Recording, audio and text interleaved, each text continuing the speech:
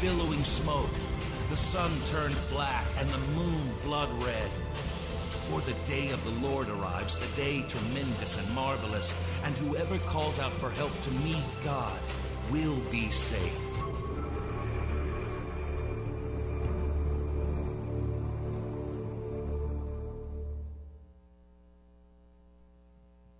Hallelujah.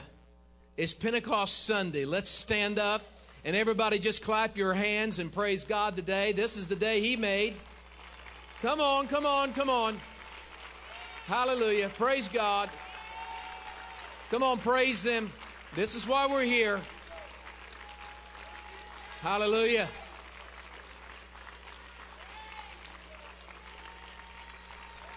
Amen, amen. Come on, you got to want it. You really got to want it. You really got to want it.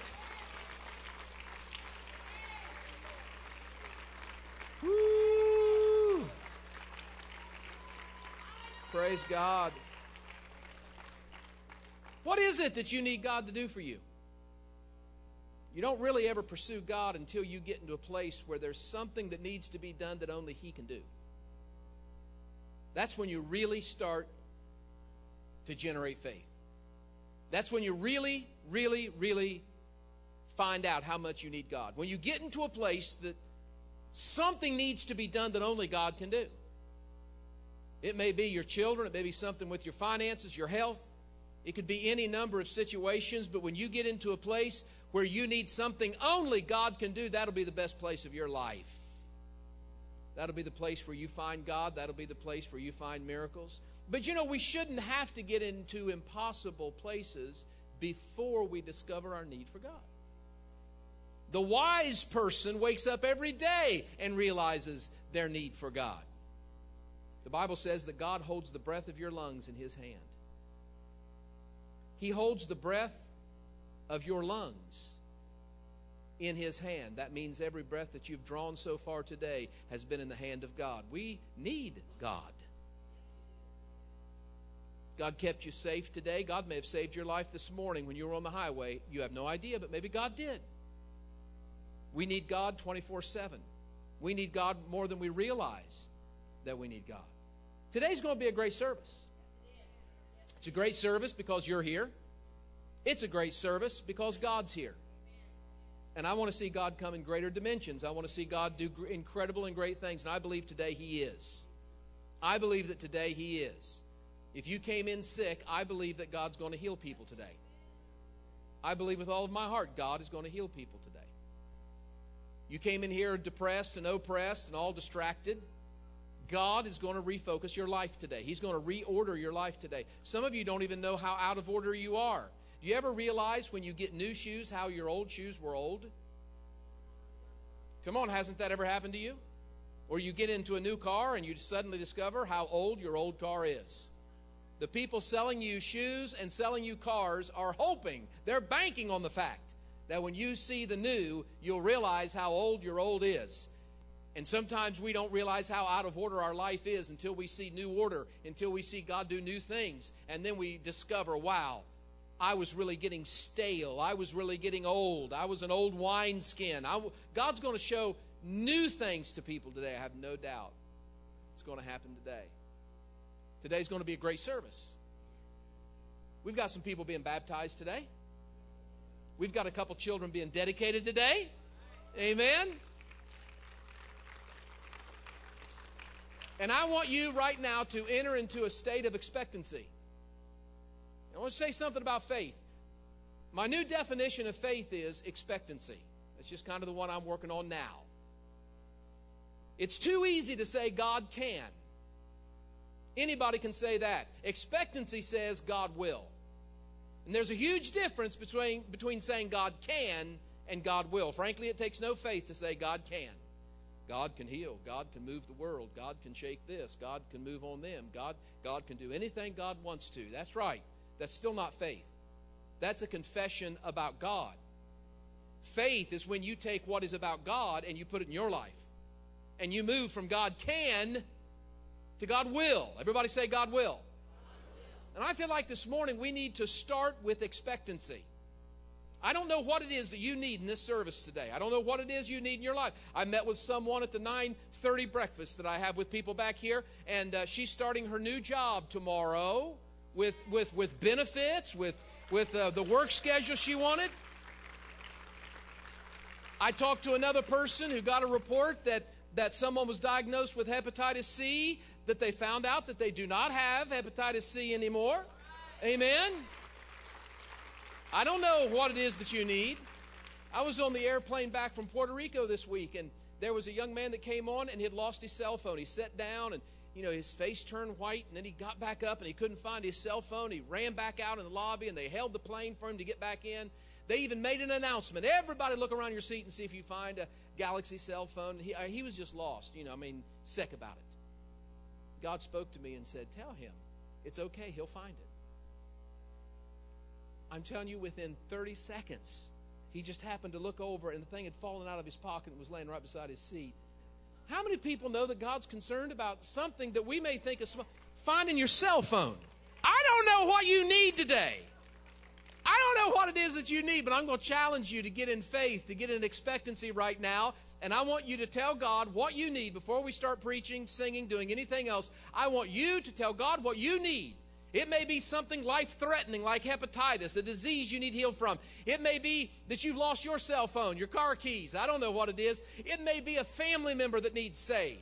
It may be, and I spoke with someone this morning whose family member needs saved. And we prayed for that family member. And I believe God's going to speak to that family member with all of my heart. Whatever it is that you need, I want you to pray and tell God, and then enter into a mental state of expectancy. God, this service is the service for me. You're going to move on my behalf. Are you ready? Can you do this? Sure, you can. This is not hard. Talk to God. Ready? Go. Tell Him. Tell Him. Close your eyes. Open up your mouth. Don't think it. Tell Him. Open up your mouth.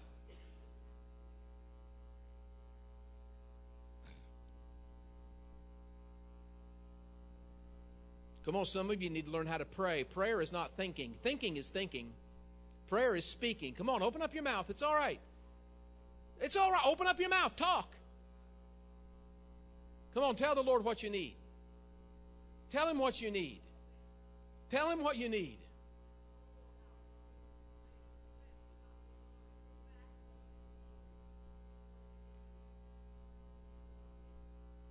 Come on.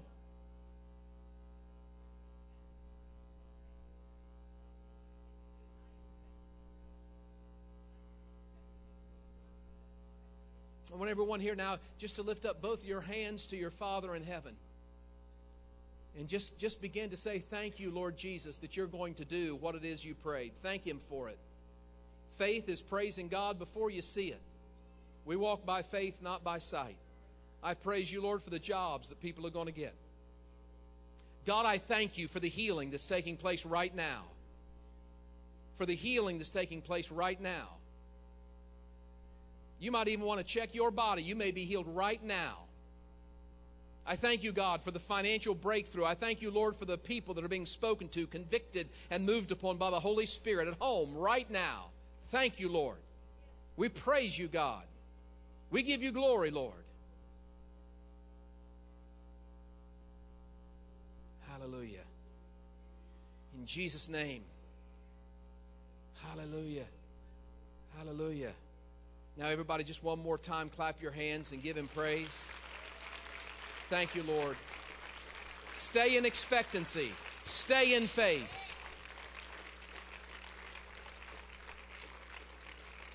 Don't sit down yet. We're, we're just about done, though. We're just about done. Now, Nikki may say something about it at the break, but Wednesday I'm going to talk about what it means when, when it says faith comes by hearing and hearing by the Word of God. We need to have, we need to have an increased level of expectancy and faith for God to do miracles. Christianity is not Christianity if it's not a religion of miracles. It's not just doctrines and creeds and confessions. It is those things, but it is also the revealed power of heaven upon earth on behalf of the saints. So come Wednesday at 7 o'clock. We're going to be teaching on that. We do our full praise and worship. We have children's ministry going on. We have teen ministry going on. What time? 7 o'clock. When? Wednesday. Now, in this service, we have a 15 minute break. I say this for all the first time guests. I'm going to be preaching here for about 30 minutes. And at that, uh, after that time, we have a 15 minute break. We take our offering. My wife will come up, Nikki. We'll take our offering. And then we have a 15 minute break. Anyone that's here for the very first time, if you are a first time guest, over here in the corner is an area we call the guest lounge. During the 15 minute break, I stay back there and I would like to meet you. So if you've never ever been here before, I would love to have a chance to meet you just to just to get connected. I'll be in that area called the guest lounge. If anyone is here, been here before, and you're interested in joining the church, or you've never been baptized, or you're interested in getting plugged into ministry, you can go back here to the other corner called the members lounge. And there'll be people back there who will answer your questions about membership, baptism, that kind of thing during this 15 minute break. Then, after the 15 minute break, is when we'll do our baby dedications and uh, we'll do our baptism. We have our praise and worship time. And I, I, I believe today is going to be a very significant day. This is Pentecost Sunday, ladies and gentlemen. And I'm going to talk about Pentecost right now. Amen. Look up to the screen. Everybody say this together. Ready? I am blessed. I'm blessed going in and blessed going out. I am blessed in the bowl and blessed in the field. I'm blessed in the city and blessed in the country. My family is blessed and my home is blessed. Everything I put my hand to is blessed. Everywhere I put my foot down is blessed. Those that bless me are blessed, and I am a blessing. Praise God. Hallelujah. It's Sunday morning. It's Pentecost Sunday. We got a bunch of wild, crazy people in this house today. Come on, how many people been saved of a whole bunch? Been forgiven of a whole bunch? Hallelujah. Do this for me. Before you sit down, look around you 360 degree circle and welcome everyone that's sitting near you today and introduce yourself to them if you don't know them already. I want to introduce or myself and welcome everyone that's watching online. Thank you for being a part of this service today. We appreciate you being here. We appreciate the fact that you're a part of the service. Thank you for being a part.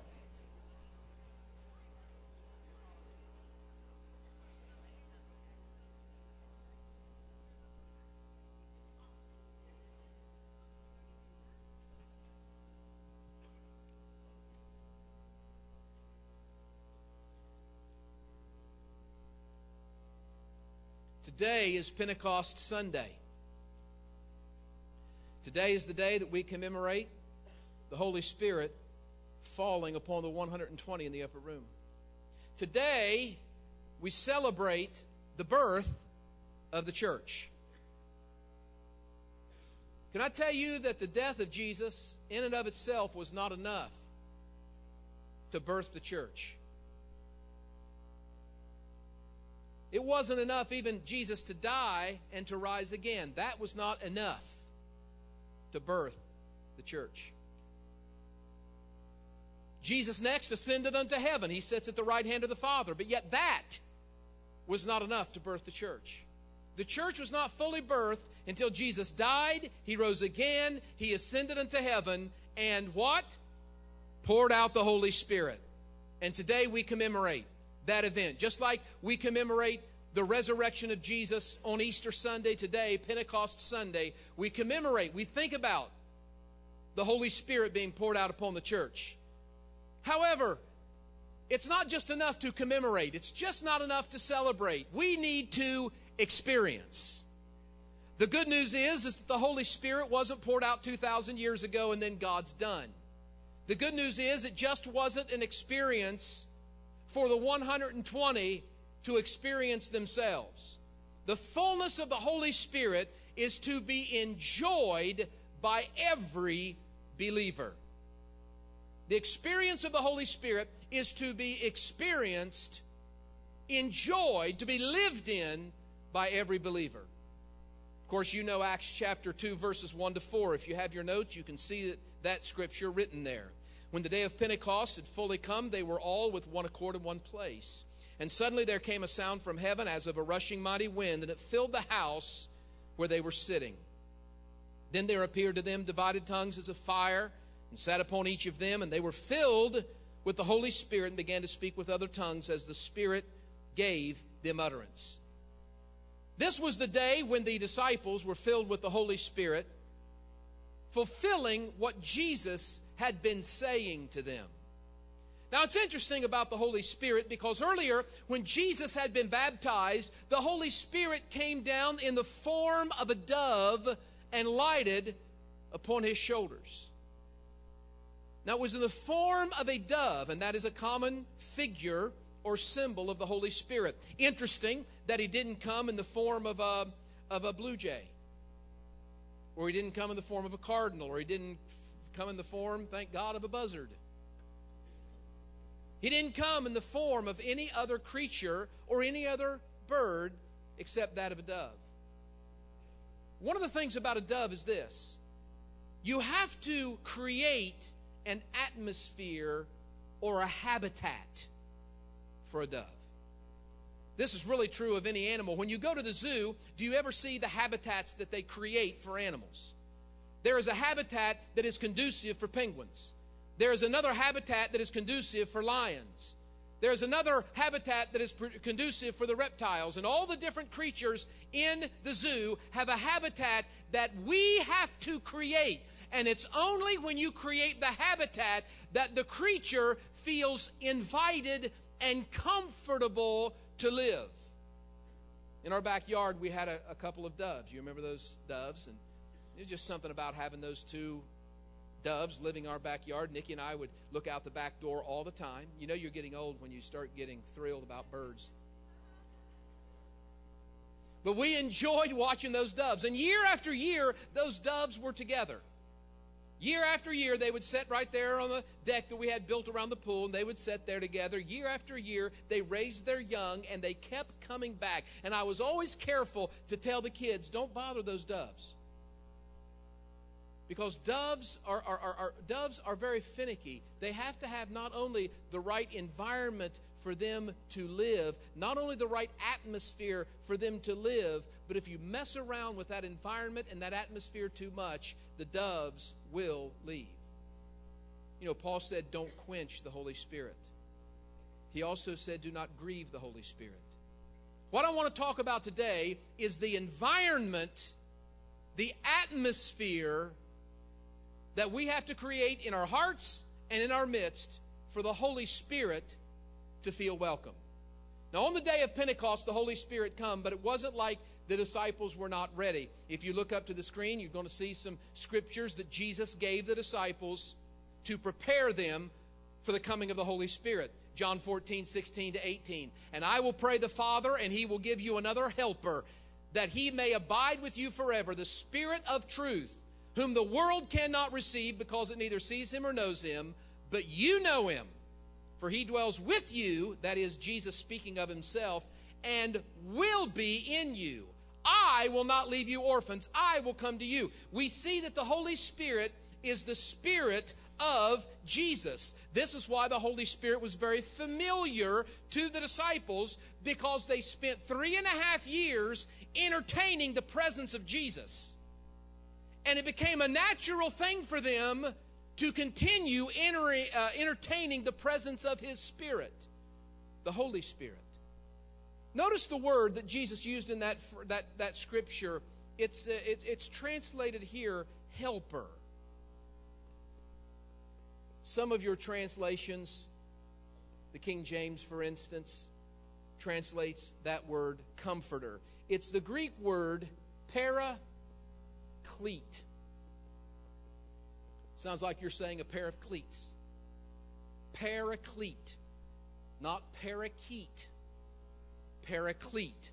Three definitions, three ways that the Greeks use that term paraclete. Number one, they use the term to describe someone who would come and help shoulder a burden. Someone was considered a paraclete who would come alongside you and they would help you carry something. How many people have ever been moving something and you needed someone to come alongside to grab the other end of the couch? You've got a heavy burden. You're, you're struggling with it. You got too many, too many things and not enough hands. And someone comes alongside to help, this is what the Holy Spirit is called in your life to do. The Holy Spirit of Jesus will help shoulder your burden. Do you ever feel like that your burdens are too heavy to carry? Do you ever feel like you're going to crumble under the weight of your burdens? Have you ever said, My life is just too heavy? This is too much for me? If you've ever thought that, if you've ever said that, if you've ever felt that, the good news is the Holy Spirit has been given to help you shoulder the burdens of your life. But I want to say, you must create the proper environment for Him. The second way that this word was used it was used as, as an advocate, especially in the area of law in the Roman court systems. They would use this term to describe a, a, couple of different ways, actually, three different ways. Number one, a paraclete was someone who came and testified in your defense. Oh, come on, aren't you glad you've got someone on earth who can testify to God in your defense. We know that Jesus does this. He makes intercession for the saints, but also the advocate, the paraclete, he also testifies in your behalf. It was used in the area of law to describe someone who would give you advice. For instance, an attorney may give you advice. He would be considered a paraclete. Have you ever gotten into a place where you don't know what to do? Have you ever gotten to a place this week where you had tough decisions to make? Do you ever wonder which is the right road to take? Let me ask you this Has anybody ever messed up your life because you've made dumb decisions? There you go, that got your attention. Sure, we have. We've made dumb decisions. We've made decisions that were not the right ones. In fact, I don't know even how you raise children without knowing the voice of the Holy Spirit. You can ask all three of our children how many times the Holy Spirit has woken their mother up and said, Go check on them. You wouldn't believe the number of times that the Holy Spirit spoke to us, and when our kids got home, we knew where they had been, what they'd been doing. It's not hocus pocus, it's not scary, it's normal. The problem is we've practiced such a powerless form of Christianity in the United States that we think now normal is somehow abnormal. Jesus gave us the Holy Spirit to tell us what to do, to show us what not to do. The Holy Spirit to give us insight. The Holy Spirit to show us decisions to make. This is how the word was used in the Roman court systems when someone would give you legal advice. Here's what you got to do to make it happen. The Holy Spirit wants to speak to you. No, no, let me take that back. The Holy Spirit has been speaking to you. It's not a matter of whether God's speaking. Of course, He's speaking to you. If you're born again, you're His child. The Holy Spirit's speaking to you. The only question is, are you listening? That's the only question. And so, the other way that it was used in the courts of law is to describe the attorney who would stand up and argue the case for you, who actually would speak for you. Wow, isn't it cool that Jesus said what he said on the screen? I'll pray the Father, he'll give you another helper, one just like me, because it is me, it's just me in spirit, not me in body. He may abide with you forever, the Spirit of truth whom the world cannot receive because it neither sees him or knows him. But you know him, he'll dwell, he dwells with you, and he will be in you. How many people would rather have someone in you than with you? Are you, are, are you here today? I want to make this statement. I, I hope it sinks in. You are better off with the Holy Spirit than the disciples were with Jesus.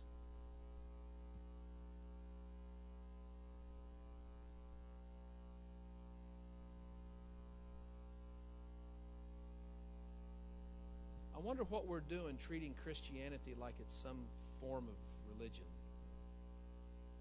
It's like a club we go to once a week.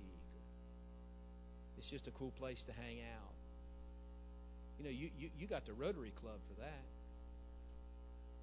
Just a place to get together, good old boys, and talk and laugh and have a good time, feel good. You can go down to the VFW and get that. Moose Lodge. We got something better. I know you think, man, I would love to be there when Jesus fed the 5,000. I would love to be there to see Jesus walk on the water. Jesus himself said, It's better that I go away. It's better that I go away. Think about it. You and I are better off with the Holy Spirit in us than the disciples were with Jesus with them. Think about it. The third way the word paraclete was used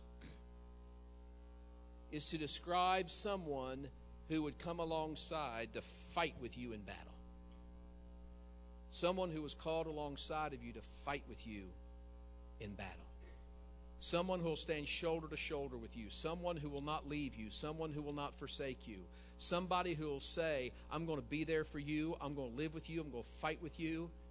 Aren't you glad that we have the Holy Spirit? The precious Holy Spirit. Now, I want to go back to my original thesis. Think about this. We have to create an environment, we have to create an atmosphere for the Holy Spirit to be in us, the Holy Spirit to be among us. But first, let's finish these scriptures. You can look to the screen or you can look down at your notes. John 14, 16 to 18. And I will pray the Father, and he will give you another helper. Oh, that's the same one.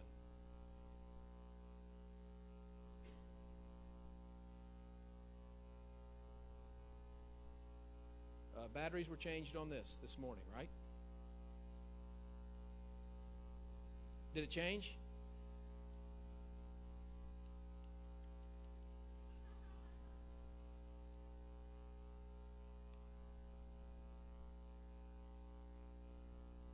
I know, but I'm wanting it to move on. It's not done anything.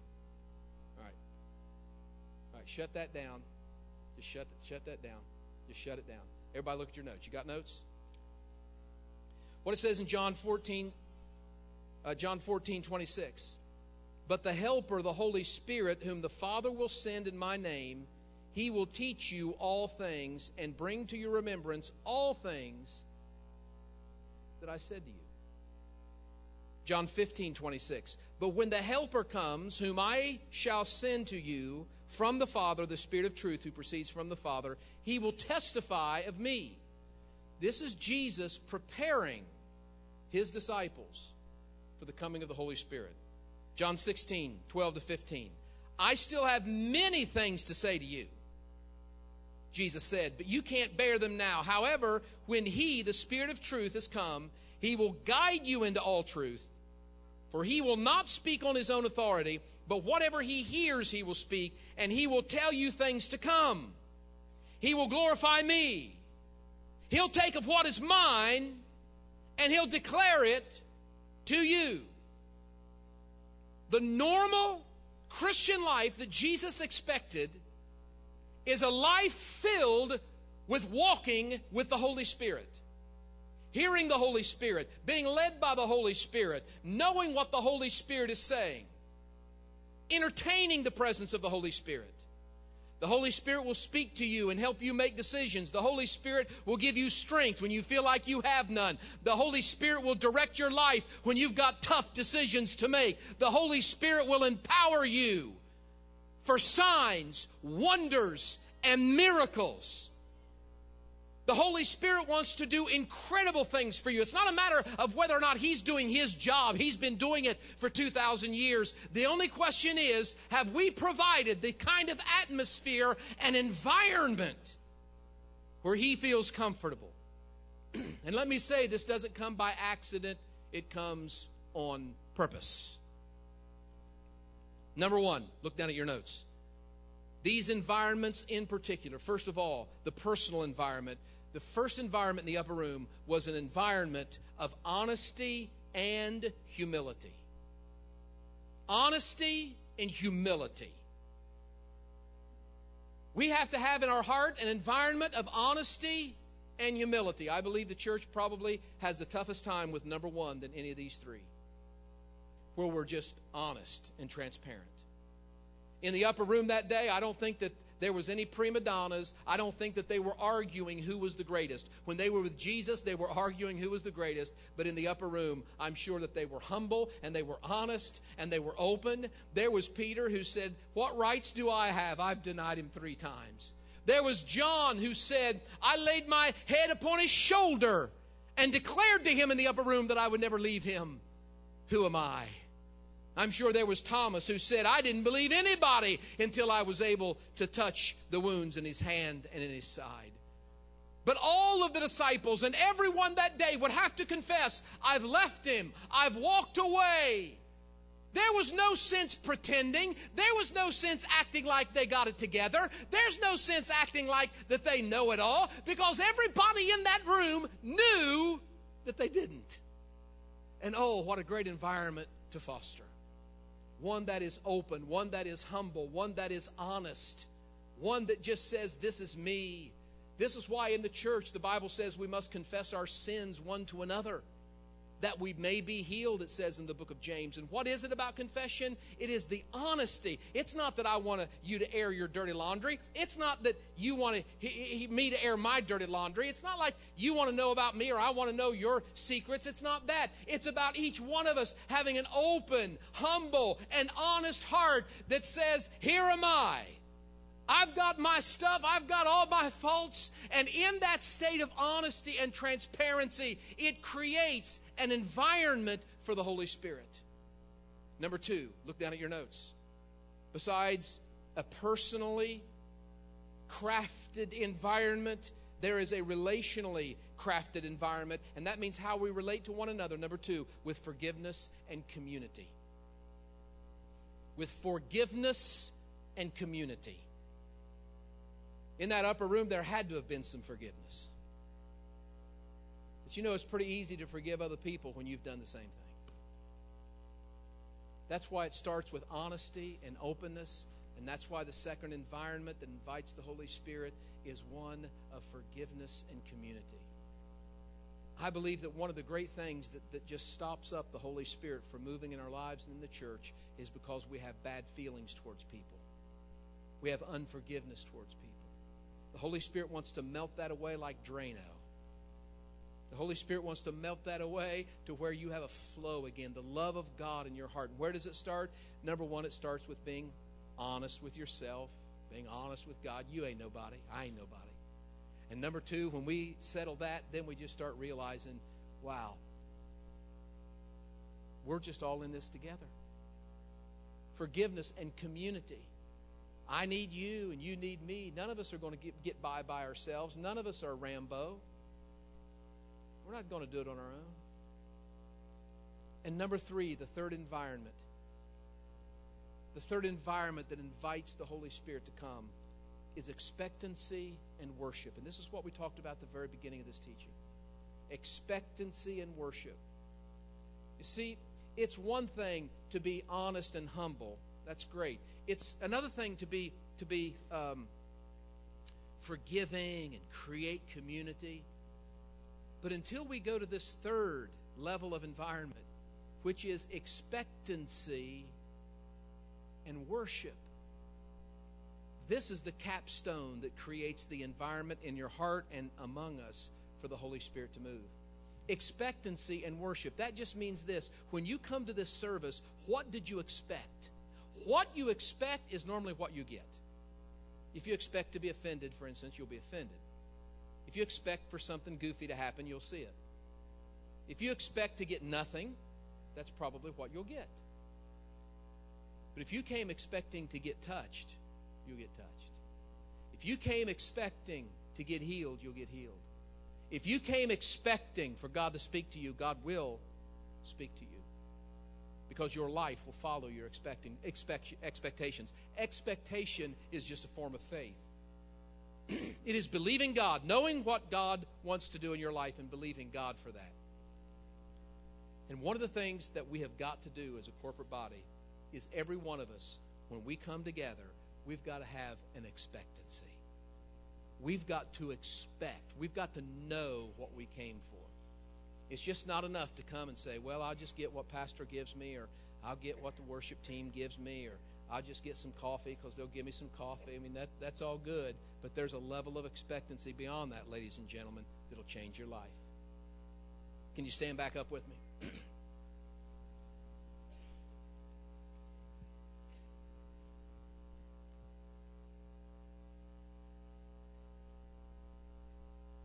Let's just start with number one. I'd like for you to close your eyes and uh, just honestly and openly worship the Lord. Just honestly and openly. Just worship the Lord. We love you, God. We love you, Jesus. It's okay to know that you're a nobody. It's okay.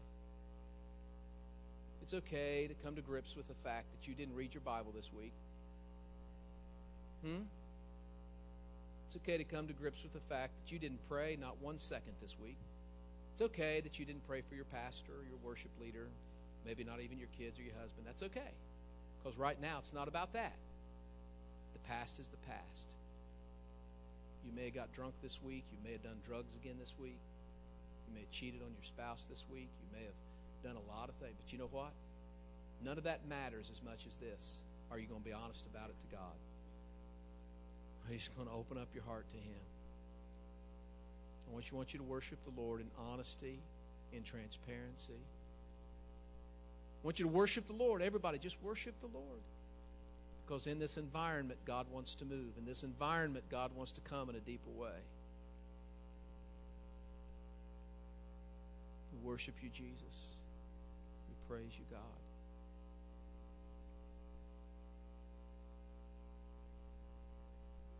Thank you, Jesus.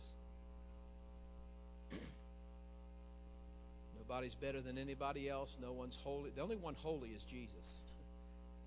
The only example we have is Jesus. The only one perfect is Jesus. Just worship Him. Worship Him. Open up your heart. Let the Holy Spirit now just begin to flood into your heart and in your soul.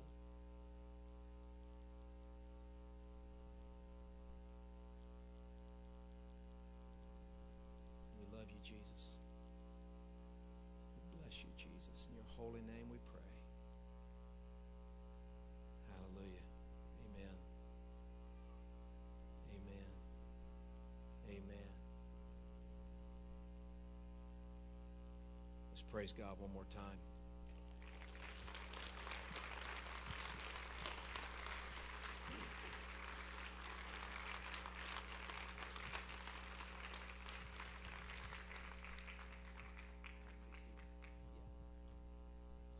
Good morning. I'm Nikki, if, you're new here for the first time. I'm uh, Pastor Mark's wife. It's good to see you all this morning. Thank you for coming. It's been a blessed morning already and better things yet to come. Amen? All right, if you would just turn your attention to the screens and we're going to watch some video announcements.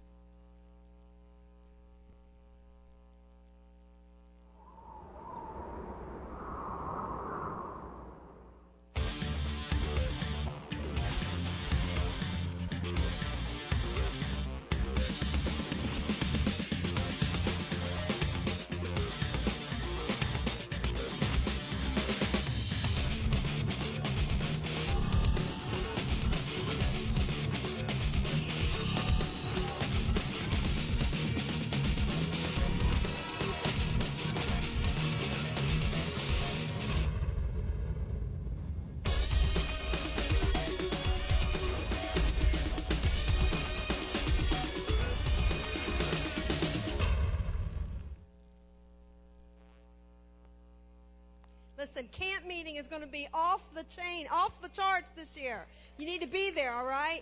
July. Listen, start gearing up for it. Start getting in your mind. Take off vacation week. Do whatever.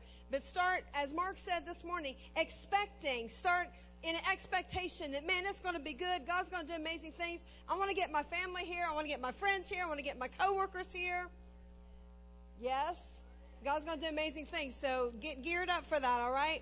In addition, I want to just put this uh, thought in your mind, and we'll talk about it uh, more as we get a little closer. But we're going to begin uh, new signups for D12 in July. So that doesn't mean that the old signups and the old groups are going away. That means we're adding two, okay?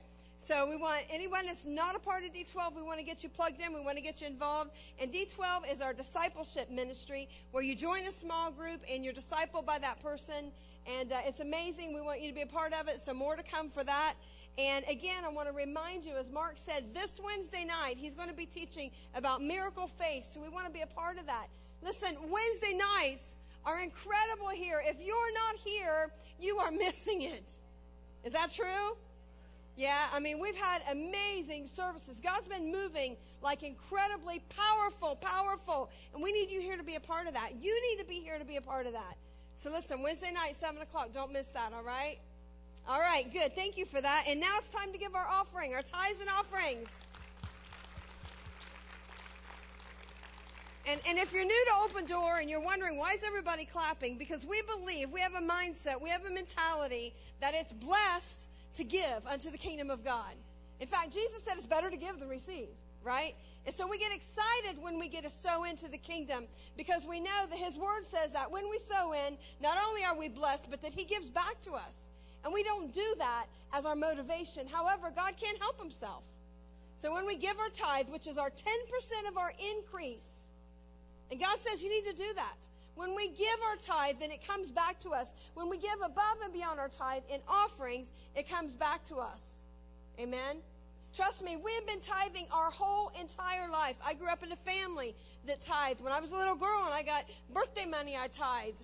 When I graduated and I got graduation money, I tithed. And, and my whole life we've done that. We tried to instill that in our family, in our children. And I promise we are blessed. We've been, there's been times when I thought, God, how are we ever going to pay the bills? And God has never failed us. Ever. Ever, ever, ever. It may have seemed like it was down to the last minute, but God always comes through. And I believe He honors our commitment and our sacrifice when we give unto Him. So we need to give this morning. We need to give joyfully with a, grateful heart. We need to give liberally. I believe we need to have an attitude and a mindset that says, God, I want to give everything I have. And I may only be able to tithe 10% now, but I'm going to make it a goal that next year I'm going to tithe 20%. I'm going to give, I'm going to give, I'm going to give. We can't outgive God. So this morning I'm excited for that. So if you're, if you're uh, making a check out to Open Door, you can just uh, write Open Door on it. If you're giving cash and you would like a tax deduction, at the end of the year, you'll find an envelope in the seat in front of you. Just put your money in there, sign your information, your name, your address, so we make sure that we can give those uh, documents to you at the end of the year. All right? Everybody stand up with me.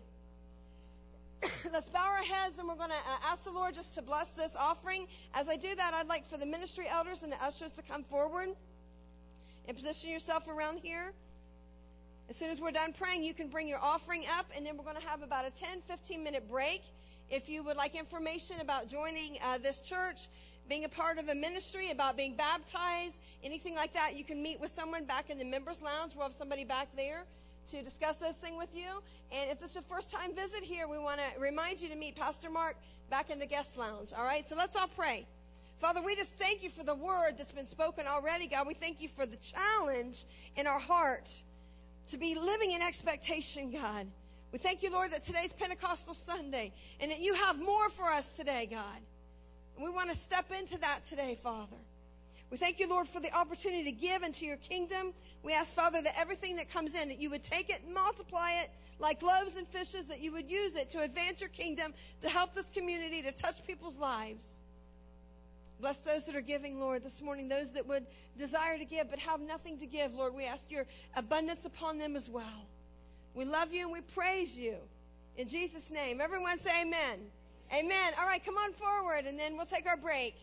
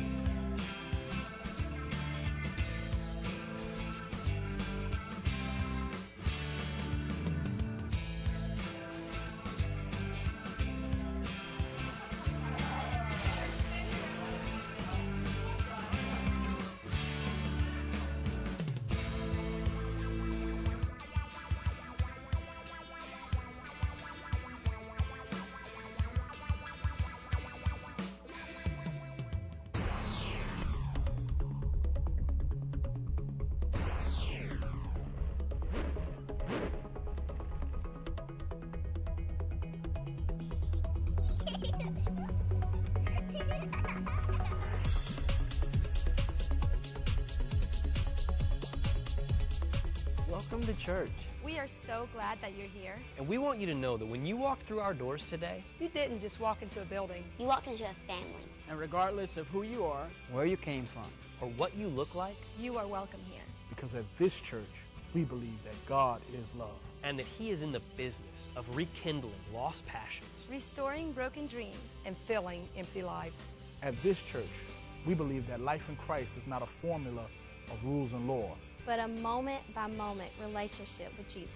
And his love is infinite and everlasting. Without pretense or conditions or discrimination. At this church, we can't stand religion. But we love God. and if you're not quite sure what the difference is yet, We can't wait to show you. We're glad you joined us today. welcome to church.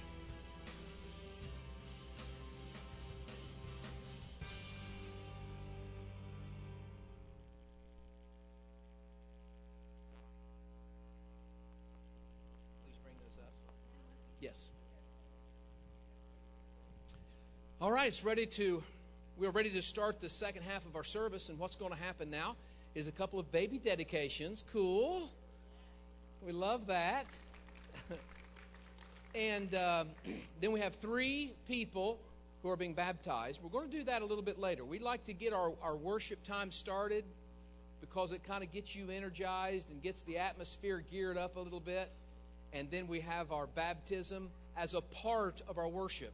Not that it's uh, detached at all from our worship. And so we're going to have those baptisms here in just a moment. But Nikki, if you would please come on up here, and, and uh, she's got the certificates. And uh, we're going to have the families come up one by one uh, for the baptisms. Or I'm sorry, for the baby dedications. Good? Thank you. All right. Ashton McGinnis. And bring the whole family up, by the way. I know you got some uh, relatives there, grandmas and grandpas, and maybe some aunts and uncles.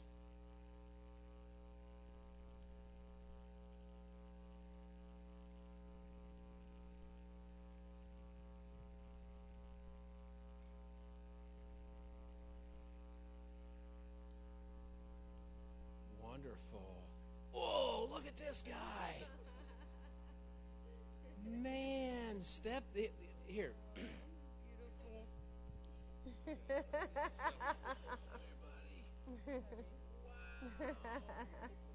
Look. Oh, I'm looking for my mama.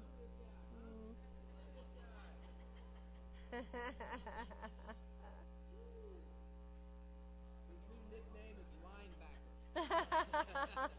Look at him. Oh, he's beautiful. Boy, he's so sweet. Oh, look. Let's take him home. Just for a day, till nighttime. All right. Well, introduce uh, your family that's up here to us, please.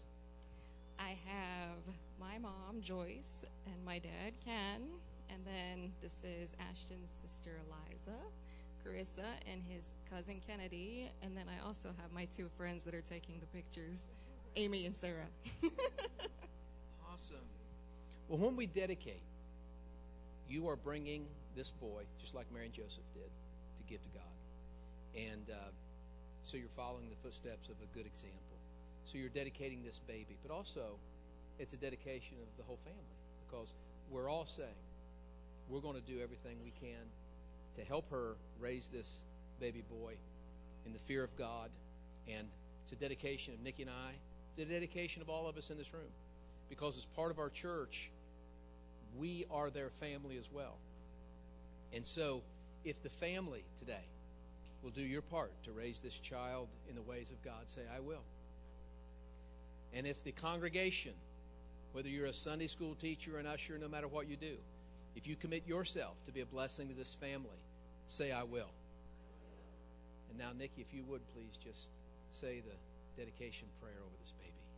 Yeah, I, I um, Amber just does a beautiful job. I think she's not here. I think she's on vacation this week, but she um she makes this little. It looks like a bookmark, and it's got the baby's picture on it, which is precious. I'm sure she got that on Facebook.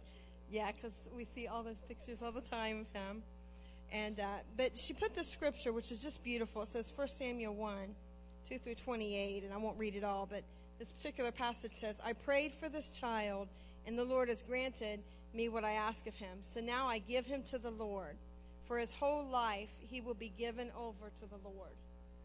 I mean, I just think that's real significant. That, that today is a significant event. And even though we enjoy parading babies around and they're beautiful, everyone wants to look at them, but it's a significant moment because you're really saying, God, you've given me this child, and now I'm giving him back to you, meaning I'm giving you free, complete access to do whatever he wants in his life, whatever you want to do in his life, and I'll do the best of my ability, as we all will, to line up with that word of God and see that fulfilled in his life. And it's an exciting time.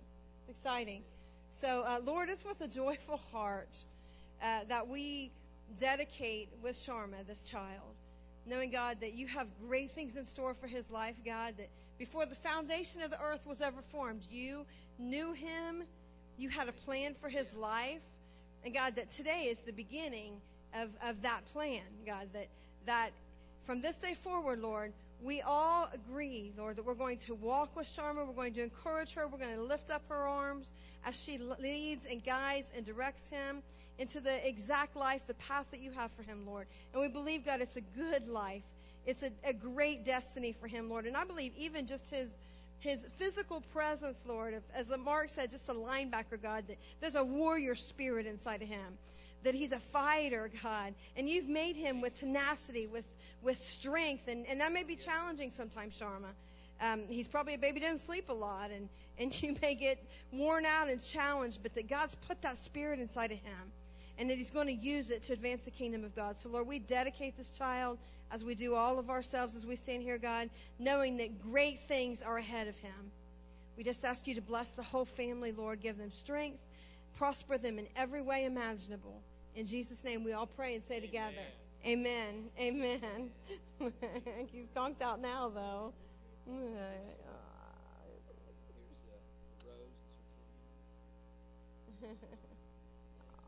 Look. beautiful. How about baby Lane? Come on up here in the family, please.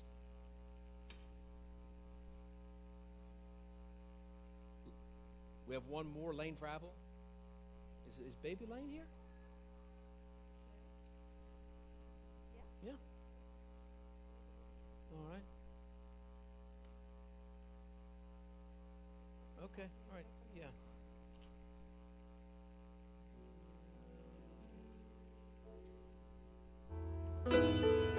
Worship?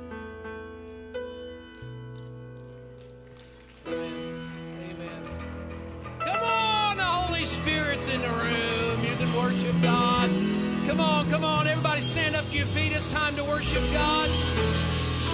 Oh, this is the moment you've been waiting for. This is why we've been preaching. This is why we've been doing what we're doing.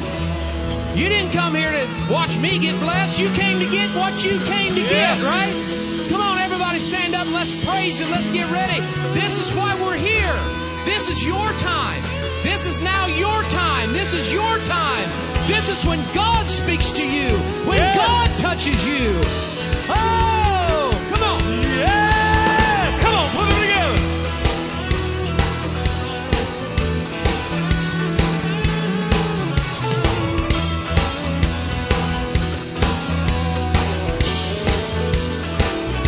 Say, Lord, you are good and your mercy endureth forever. Lord, you are good and your mercy endureth forever. Say it again, Lord, you are good. Lord, you are good.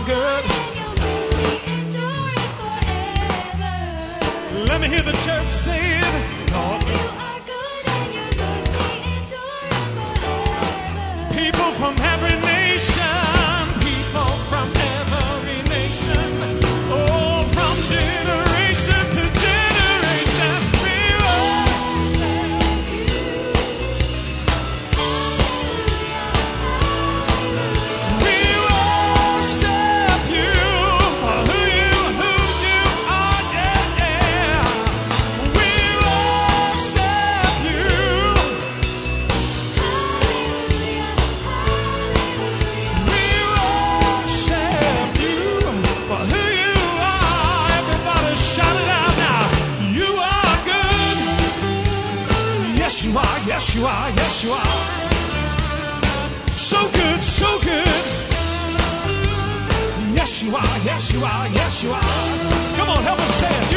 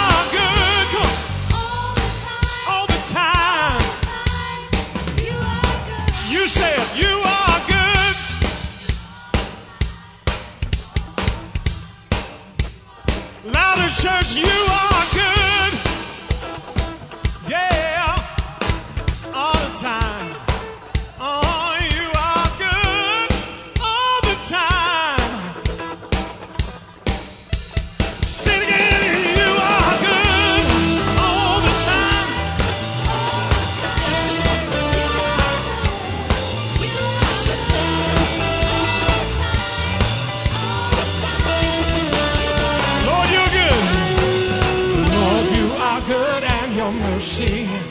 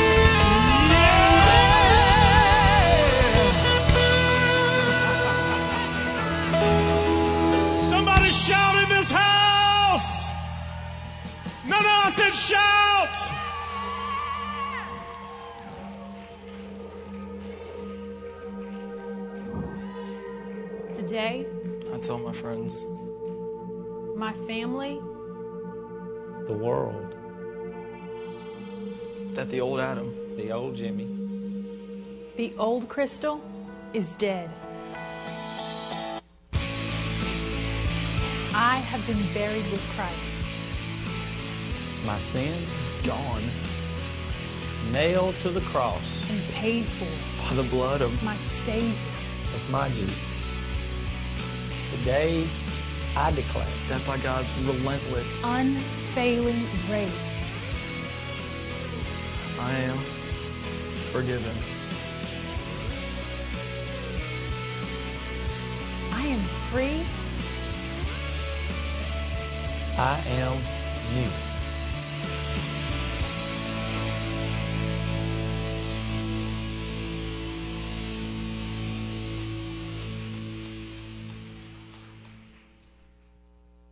All right, all right. You know what? It's every Sunday's a good Sunday to get baptized, but but Pentecost Sunday is probably an extra special day. Uh, we got three people that's going to be baptized today, so uh, celebrate with them. All right? Amen. My name's Kelly Wood, and I can't wait to start my new life with the Lord.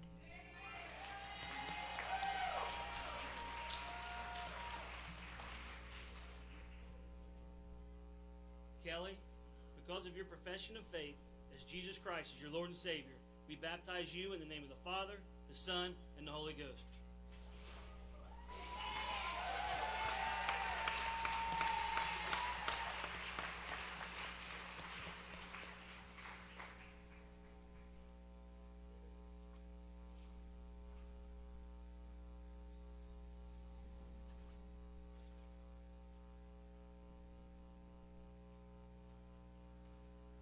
My name is Keegan Arledge.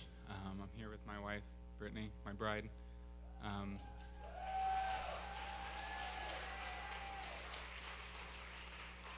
I just want to take this time to, to praise the Lord and, and, thank Him for allowing us to be here together. And uh, I know He will bless us in our future.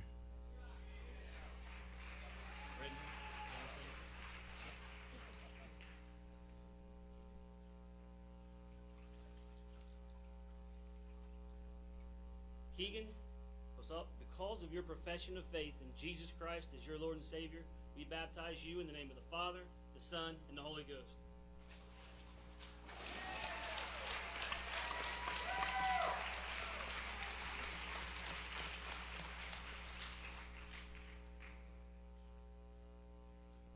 Brittany, because of your profession of faith in Jesus Christ as your Lord and Savior, we baptize you in the name of the Father, the Son, and the Holy Ghost.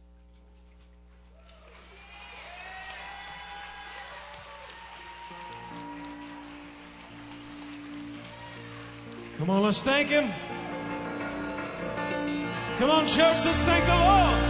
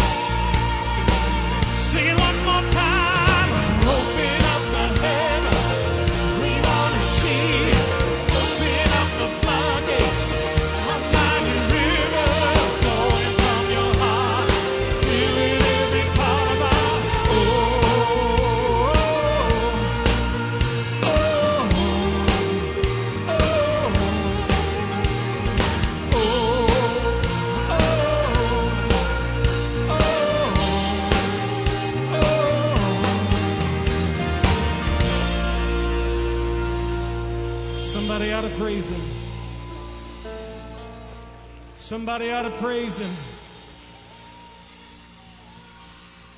Come on, take about 60 seconds, clap your hands and lift up your voices and praise the King.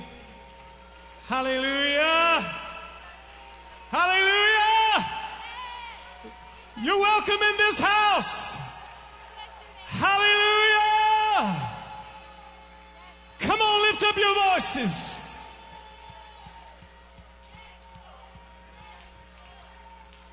Hallelujah.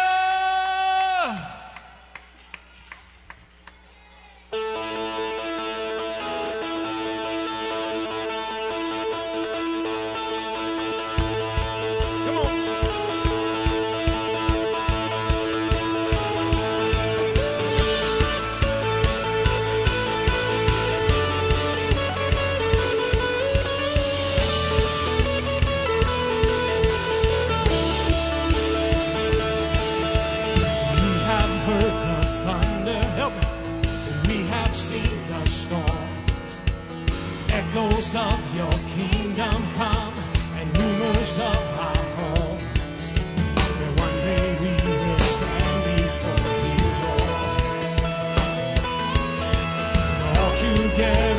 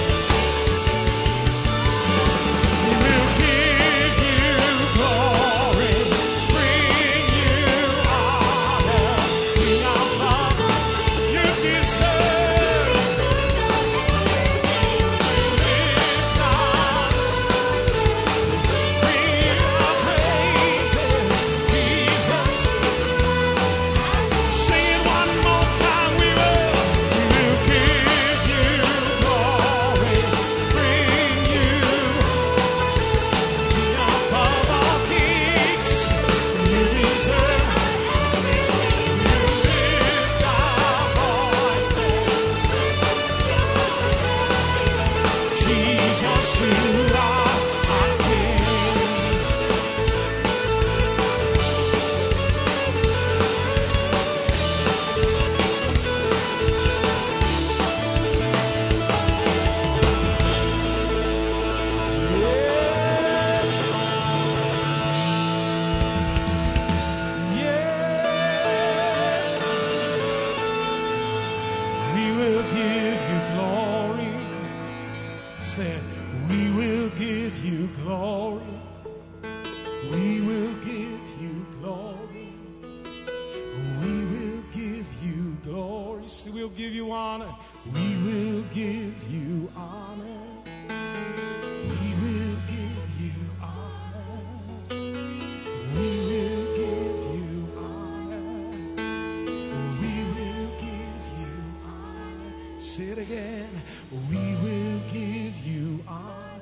Up those hands and say, We will give you honor. We will give you honor. We will give you honor. Now let your voices be lifted up and give the sacrifice of praise, the fruit of our lips. Come on, lift your voices.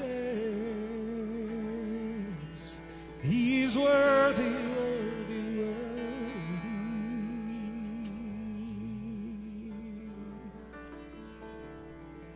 Lord, you're worthy.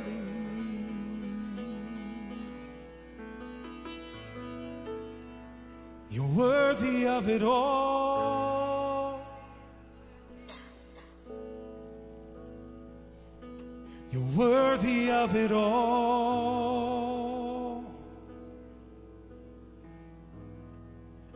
For from you are all things, and to you are all things. You deserve the glory. Sing it, church. Say, You're worthy of it all.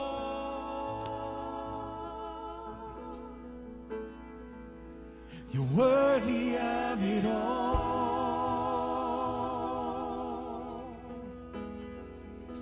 From you are all things, to you are all things. You deserve the glory. Oh, sing a little bit louder to him. You are worthy. You're worthy of it all.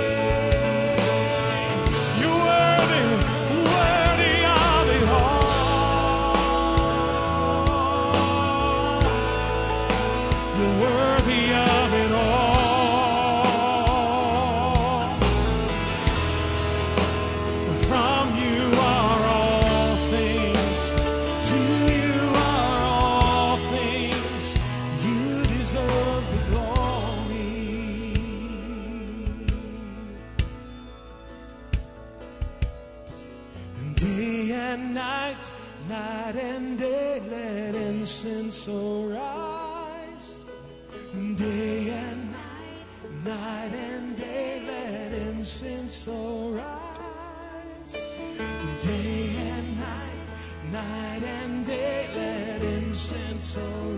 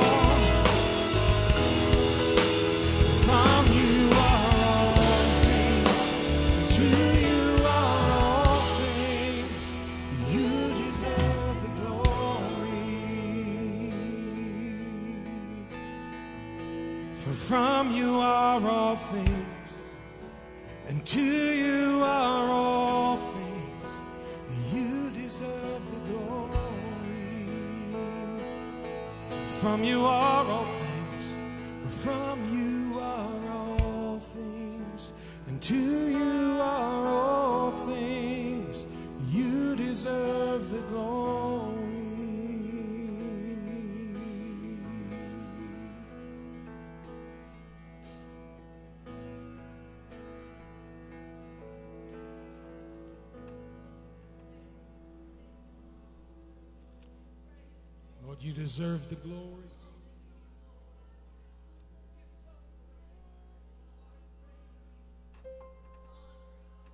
Hallelujah.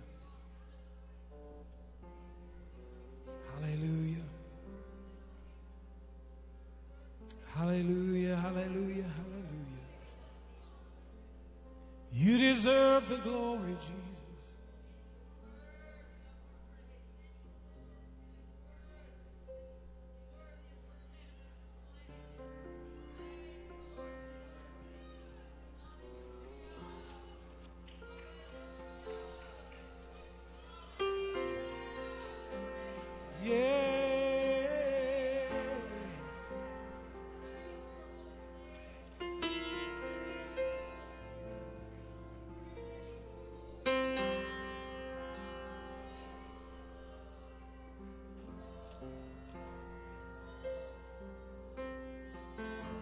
we stand in the glory of the King, knowing that you're here. You have set us free. You're here. Let our worship be your throne. Amazed by who you are, your presence.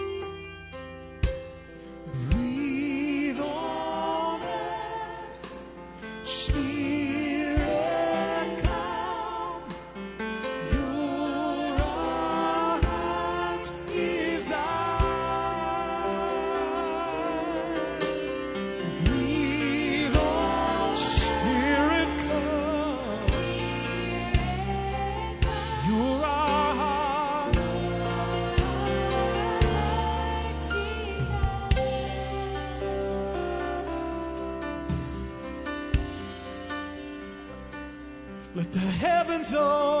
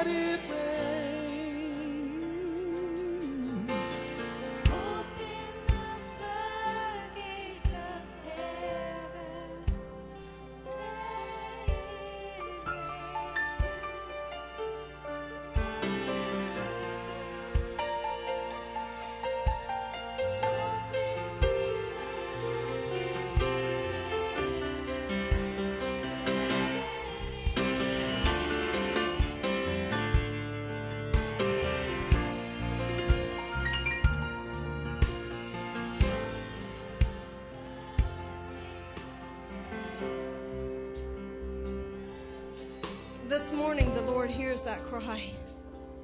And uh, I want to tell you a story, and I don't think I've probably ever told this publicly. I've told it maybe in small groups. Um, I even shared it with our staff this week. And uh, Bryce really prompted me because he said, You know, I've been a part of this church for many years. I've been a part of your family for many years, and I've never heard that story. And, uh, and I felt kind of regretful that I had not shared that. And uh, so I went to bed last night, and the Lord woke me up at 5 o'clock this morning, and um, He woke me up with a dream, actually, and then He told me to share this story. And you need to hear this story because you need to understand that there's a level of supernatural living that God wants to get us to. And, um, and not only that, but there is something that's stirring in the atmosphere.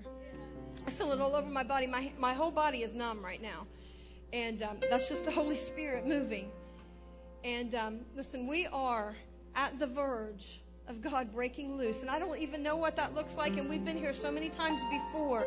But to say that something is coming that we've never had before, we've never experienced before. And it begins, first of all, individually.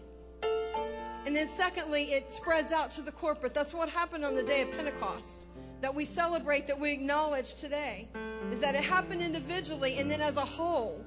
The whole room was shaken, the whole earth was shaken, and it was spilled out into the streets. And you need to hear this story. It was about four years ago, and I was invited um, to do a conference in England. And, uh, and at that time, I traveled extensively. I was gone most weekends for probably about two and a half years. I traveled almost nonstop all over the world. And I was invited to go to England and, and to do a conference. And every time I left, it was so difficult because I'm a mother at heart and I'm a, I'm a wife at heart. And to leave my family and to leave my children who were younger at that time was always such a challenge. It was always so difficult. And I didn't have an international cell phone. So when I would leave and go away, I didn't have any way to contact me, to contact my family unless I would call collect. And um, so it was always very lonesome for me. I would be invited to these places and I knew usually no one. Most of the time, they didn't even speak my language. But this particular time, I was invited to England, and, and I went to England, and I done um, some services in London, and then I had to go up north in the Manchester area, and so um, I took a train. That was the way that they told me to get to London, or from London to North. It was easier and cheaper that way. So I went to the train station and I bought a, tra- a train ticket. I'd never been on a train before, other than like maybe at some, you know, zoo or the fair or something like that. But I'd never been on a train like that. And um, and so as I walked up, when you stand in, in the uh, terminal and then they, they announce your train is boarding and you immediately go, it's different than boarding an airplane. You go yourself and you get on the train. And so I'm walking out with my luggage, pulling my luggage, found my, found my platform, and there the train is stationed right beside me. And I looked at the train, and blazed across the side of the train was written in cursive letters, big, glory. The name Glory. The train's name was Glory. And I had on sunglasses and I took my sunglasses off and I put on my glasses because I wanted to make sure I was reading that right because we've always pressed God for the glory. We understand the glory is the, the manifest presence of God revealed in our lives. And so when I took my glasses off and I put my, my reading glasses on and I saw it as plain as day, glory written across the side of the train, and I chuckled to myself and and I had these conversations with God because I didn't have anybody else to talk to. And, uh, and I said, God, you're so funny. I mean, just think, you've put me on the glory train. And I, I boarded the train and I found my seat and I sat down. And I still just kind of kept on this little dialogue with the Lord. You know, God, you, you put me on the glory train. That's so funny. I can't wait to tell somebody about that. And, uh, and right at that moment, the Lord began to just download in my spirit his words. And he told me, he said, You need to hold on because I'm launching you into the dimension of the glory that you've never experienced. And this glory is going to cover the earth. And the Bible says that his glory will cover the earth. And that glory is distributed through his people. It doesn't come down out of the sky and light pass. It comes in us and then we distribute it. And so at, at, that moment, as he's speaking that to me, the train begins to take off. And it's not like a chugga, chugga, chugga, chugga. I mean, it's like launched like a rocket out of that place. And it, it, speeds up to like, I don't know, it felt like it was going like 200. I mean, it was fast. And the whole way to this journey, the Lord just kept downloading stuff about His glory and His presence and what He wanted to do here in this place. So as time goes on, I, I arrive on my journey and, and I am put in a monastery. It was an old monastery that had been converted to like a conference center. And so I go to this monastery and, and I began to minister that day. And, uh, and I said to them in the course of my, uh, my message, I said, you know, you know, I'm talking about the glory. And I said, you know, the amazing thing was they put me on the train that, that said glory, the glory train. And they all looked at me and was like, what? And they were shaking their head and like they were kind of talking amongst themselves. And, and I said, yeah, you know, you name your trains. And this particular train's name was glory. It was written on the side of it. I mean, I saw it with my eyes. And they said, no, no, no, no, no. We don't ever name our trains. There was nothing written on the side of that train. But I tell you, with every breath within me, without a shadow of a doubt, it was written supernaturally by the hand of God, the finger of God, glory on the train. Without a shadow of a doubt. And if I'd had sense, I would have taken a picture of it. But I knew God was saying something. And so as the days progressed, the conference grew and grew and, and progressed. And one particular day, I was terribly homesick. And I didn't have any way to call home. And there was a payphone in the lobby of this monastery. And it was dark and dingy. I mean, it was a monastery. No luxuries, no nothing. And, and I, I saw a payphone and I thought, I can call home. And I called home. And I don't even know if, Mark, you remember this, but as I called home, I was trying to get the operator to, you know, do the collect call, and for some reason the connection wouldn't go through with the operator, but I could hear him speaking on the other end. And I could hear him saying, hello, hello, hello. And my heart was so heavy. I was so homesick for that voice, for that place. And so finally I hung up the phone because it wouldn't go through, and he didn't have any way to call me, of course. He probably didn't even know it was me. And I went back to my room, and it was a little dingy room, and and and no criticism against them by any means, but but it was not the Ritz Carlton. And I was homesick, and I was sad. And I said to the Lord, I said, God, if you've called me to do this, then you have to give me something that I don't have because this is hard and I'm homesick. And as I stood in that little tiny room, all of a sudden, and I'm not kidding, and you may think I'm nuts, but I tell you, it's all biblical. And it's how well, God wants us to live at the level that I'm going to tell you. And at that moment, the wind began to blow in my room. Now, there weren't any windows open, there weren't any doors open, there wasn't any fan because it was hot. And in that moment, the wind began to blow, and all of a sudden, I could feel my hair like blowing out back from my hair, off my neck. And all of a sudden, this power of God wrapped itself around me. And the Holy Spirit, Jesus said that you will receive power when the Holy Spirit comes upon you. So understand there's a level, there's a dimension of the Holy Spirit in us. When we get baptized with His Spirit, the Spirit of God comes in. But there's a dimension of being upon us, which is different. It's for the sake of ministry, it's for the sake of others. And at that moment, something wrapped itself around me, the Spirit of God, in a way that I had never experienced before. And I fell to my knees and, and I stayed in that position for, I don't know, an extended period of time, just basking in the presence. In fact, my very breath, the way I breathed, changed supernaturally.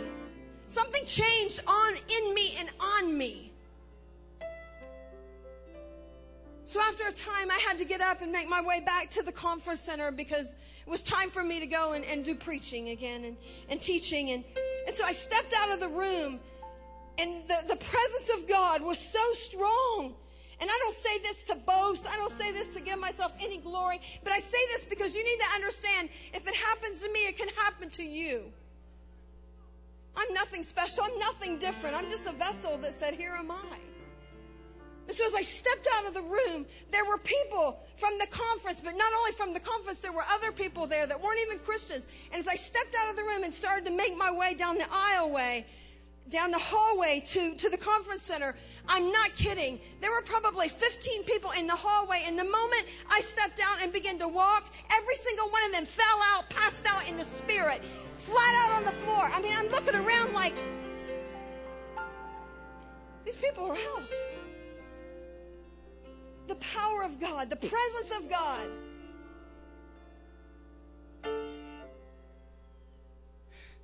So I, I, carried on with the meetings, and, and, and, and it was all powerful and good. And, and the meetings ended, and I, and I boarded a train from Man, or a plane from Manchester to head back to Columbus on a Wednesday morning, knowing that when I got here, my husband was in, in Dallas doing a conference, and I had to come here and do the, the church service that night, our Wednesday night service.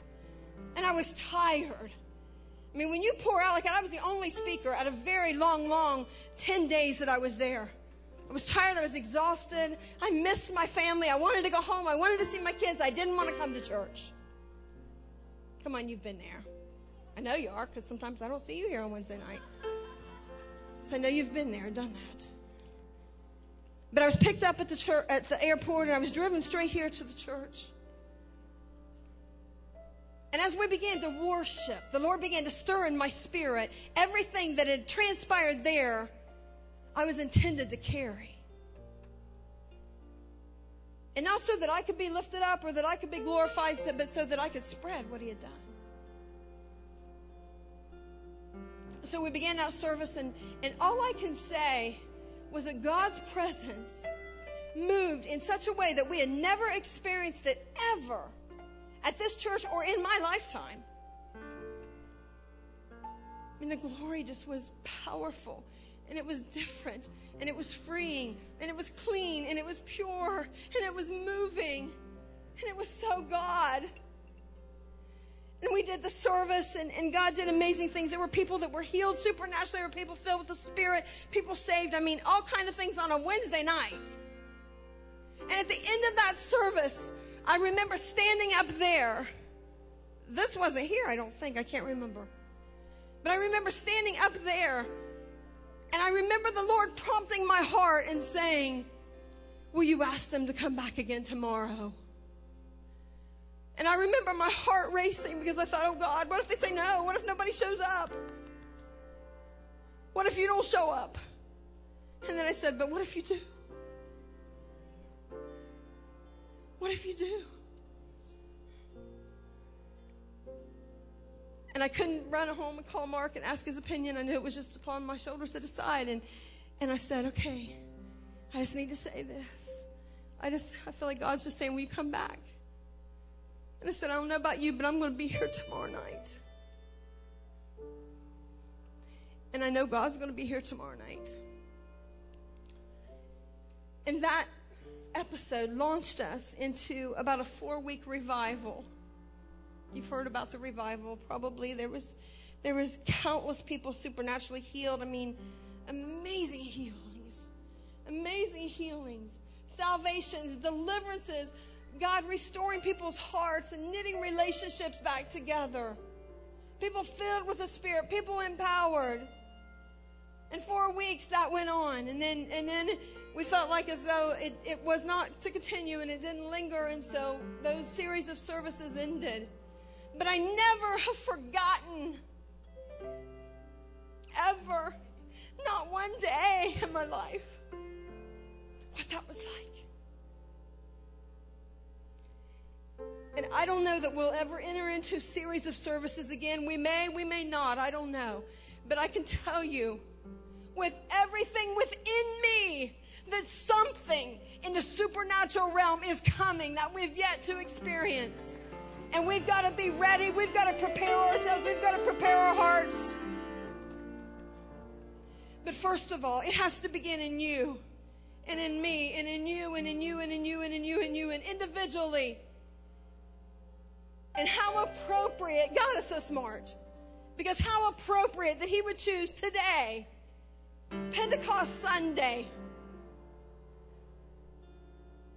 for me to share this story with you. Because what it is is a dimension of His power and His glory that I didn't have, I didn't operate in, but I sure as everything within me needed it, and so do you.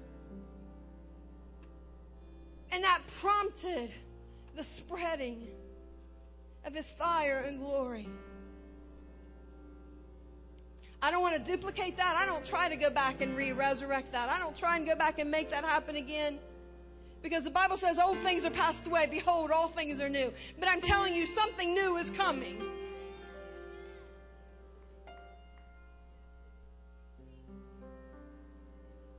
And it begins individually today. And if you need a touch from heaven, like I described, you need to come up front.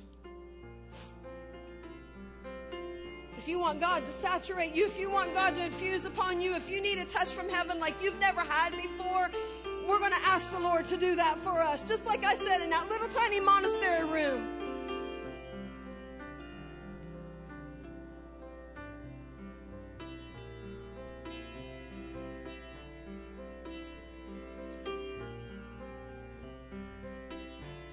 Now, don't come out because everybody else is. Don't come out because you feel pressured. Because this is you seeking the Lord. And it's your life that's going to walk it out. I'm, I can not walk it out for you. Pastor Mark can't walk it out for you. But if you're hungry, if you're desperate for a touch, if you say, God, there's something that I need that I don't have. I need you to change me. I need you to breathe on me, just like we were singing, breathe on us. I need a dimension of your presence, a dimension of your glory that I can't even imagine. I can't even articulate the words. Then this time is for you. And I'm going to pray and ask the Lord to do that for you. And I know He will because He is a rewarder of those that diligently seek Him. He says, if you ask for bread, I'm not going to give you a rock. And if you ask for fish, I'm not going to give you a scorpion.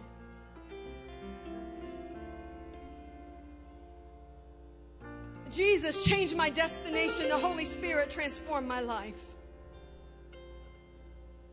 And we acknowledge the presence and the dimension, the third person, but certainly not the least of the three of the Godhead, and that's the Holy Spirit today. We acknowledge you, Holy Spirit. We acknowledge that you were sent from the Father through Jesus. We acknowledge that you are the promise of the fullness of Jesus to come. And we acknowledge that you have something that we don't have. And yes, you may have filled us before, but we need a new filling and we need a new outpouring of your spirit, not only in us, but upon us. God, we ask for an outpouring for a distrib- distribution of a manifest presence that we carry with us. That when we enter a room, people are affected. When we pull on the grounds, people are affected. When we open up our mouth, the people are affected. And God, we lift our hands to you right now in a total surrender to say that here am I. And I need that touch. I need that breath. I need that dimension of your spirit. Breathe on us now. Change us. Prepare us for your glory. Make us a suitable carrier of your glory.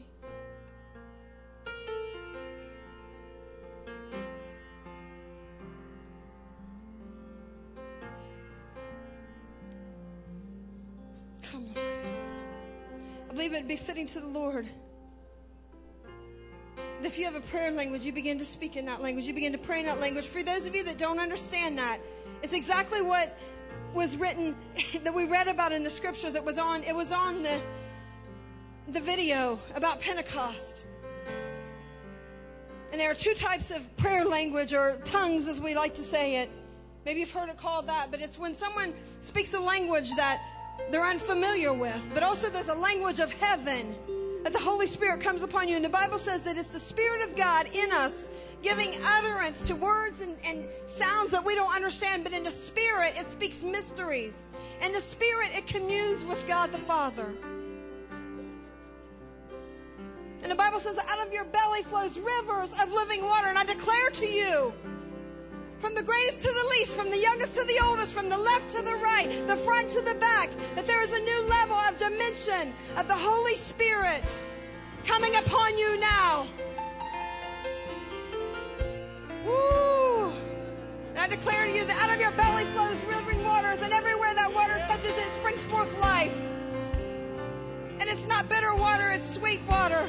And it's not decaying water, it's not stagnant water, it's not sour water, it's not swampy water. But it's good, clean, fresh, life giving water. Oh. Yabasonda basanda le basonde.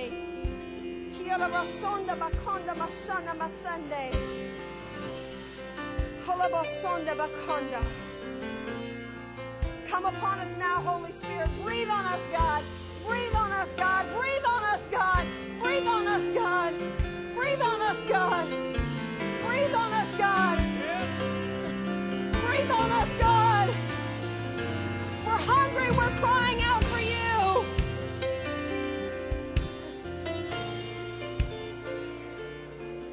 God, we don't want to miss the moment of visitation. We don't want to miss the hour of visitation.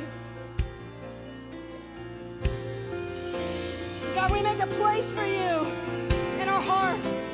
We make a place for you in our lives. I make a place for you in my schedule.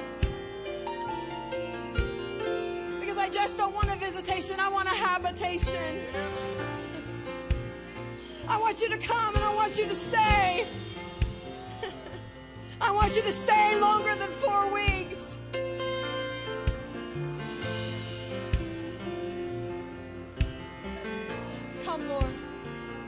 Lord. Come, Lord. Come, Lord.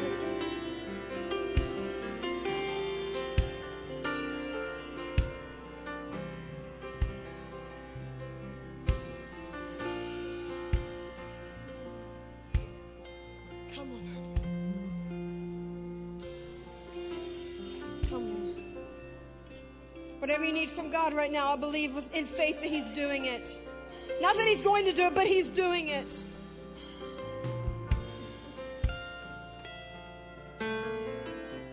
right now. He's restoring lives, He's restoring hearts, He's, he's, he's giving forgiveness, He's touching bodies, He's freeing minds. He's healing your body, He's healing your mind, He's healing your soul. He's empowering you, He's filling you.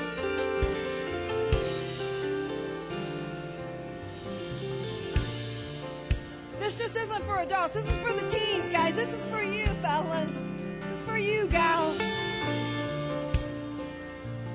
Is for all of us.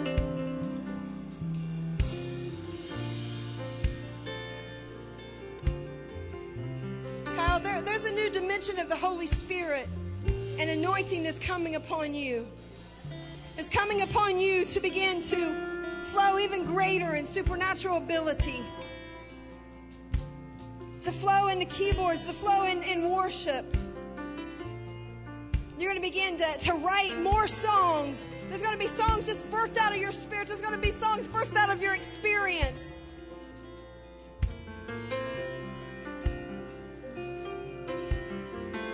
There's a level of power, Kyle, that God wants to bring to you.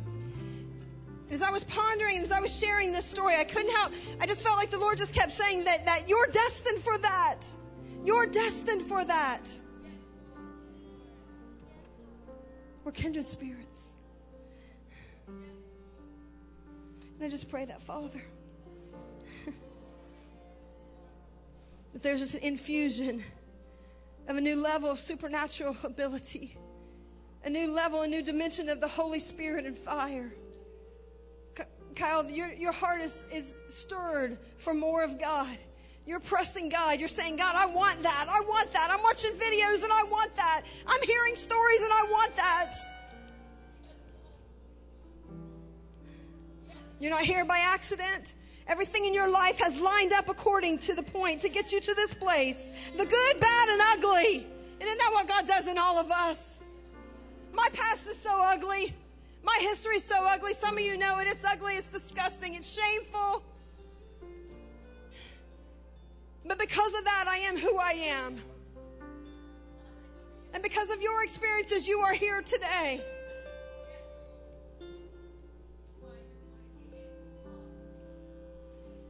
Kyle, I see as you as a work in progress, and you've been a you've been a lump, you were a lump of clay. First of all, let me just tell you what I'm seeing. I'm seeing that you were a beautiful, beautiful, beautiful vessel. But I saw that vessel begin to crack, and then I saw it begin to shatter. And your life began to fall apart, and it was painful, and it was horrible, and it was remorseful. But when it was all said and done, I saw you laying on the floor, and you were you felt like, and maybe you even said this to the Lord, but I'm nothing but a lump of clay. The beautiful vessel is gone. The shininess is gone. The attractiveness is gone. But I want to tell you, in that moment, you were more beautiful to the sight of the Lord than the finest piece of pottery ever fashioned by the, by the greatest masters. And I saw that you've been in a process, and God's been renewing that lump of clay, and He's been fashioning you, and He's been forming you. And He's bringing you to a point just like all of us were in progress, but He's bringing you to a point where you've never been before. And this time, this time you're different inside. And you know it, you feel it. All the things that we chase is gone. All the things we think will give us satisfaction and, and joy is gone. But there's a hunger inside of you for only God.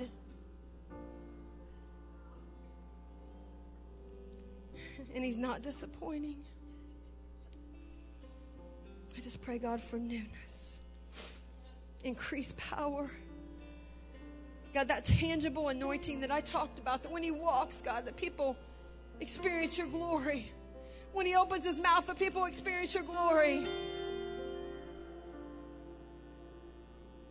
And the Lord's making you strong for the endurance, Kyle. This isn't short term. What God's going to do is long term, it's enduring. He's giving you strength for that.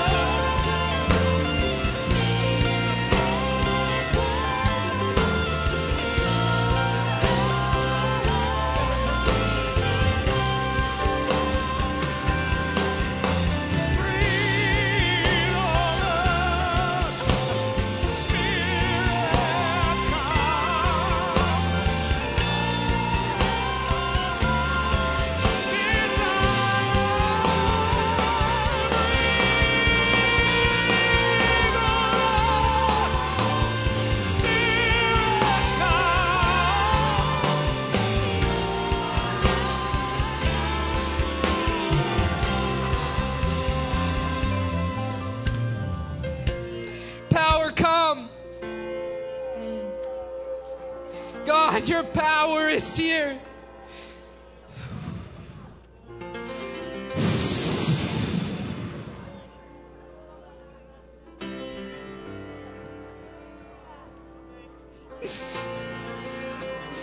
God, I pray that you make this church great.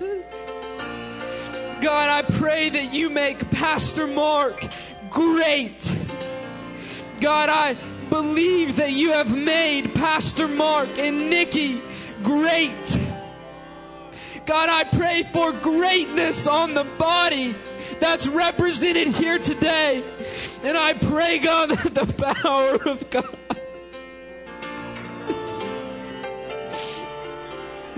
I pray, God, that your power, that your power, God, would come upon us, Lord, to change our world.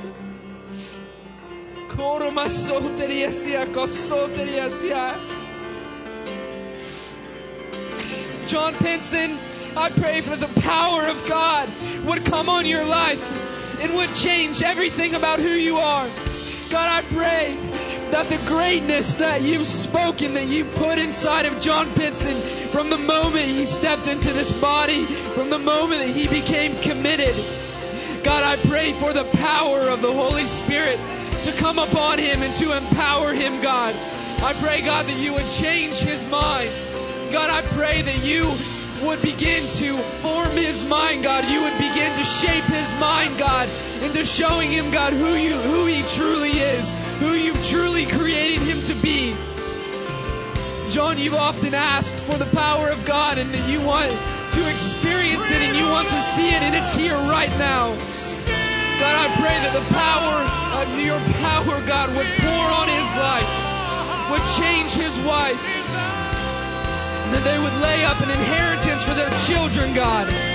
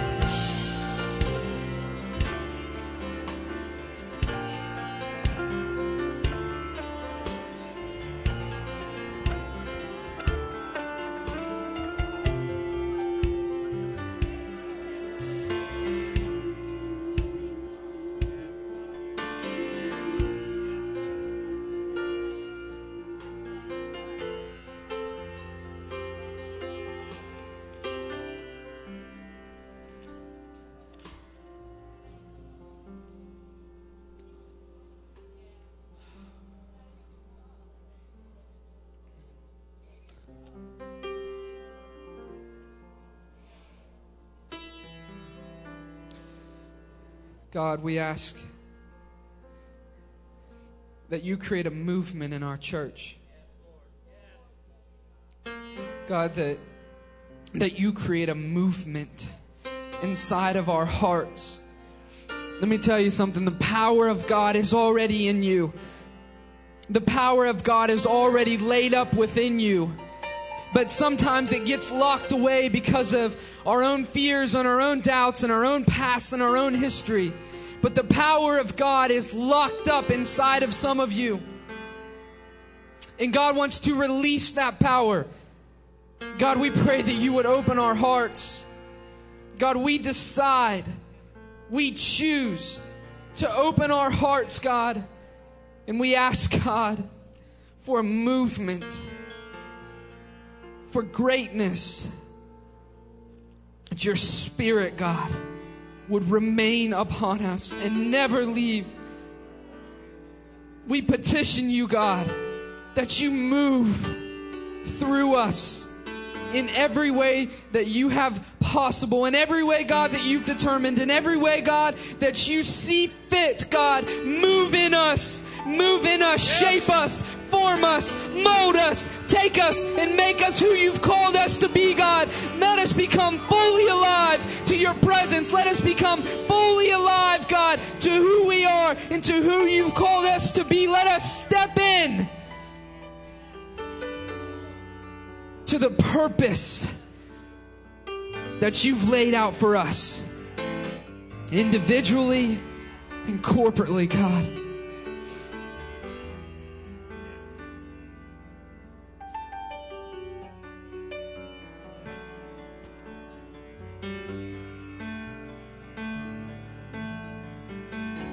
Pour out on your sons and daughters your fresh living water.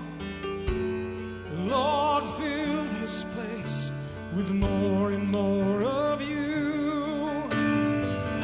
Into fresh anointing to break the yoke of bondage.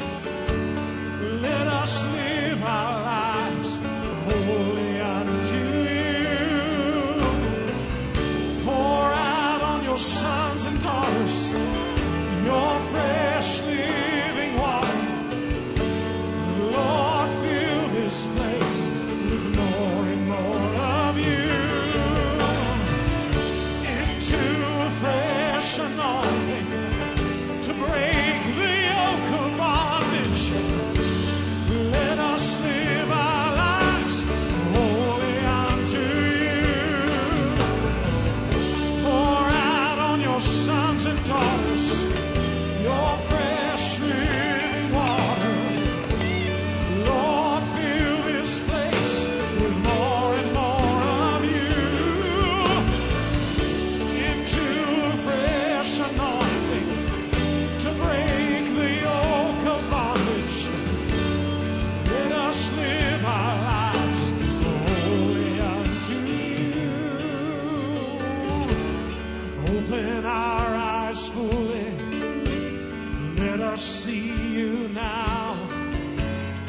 in your strength and glory in this final hour.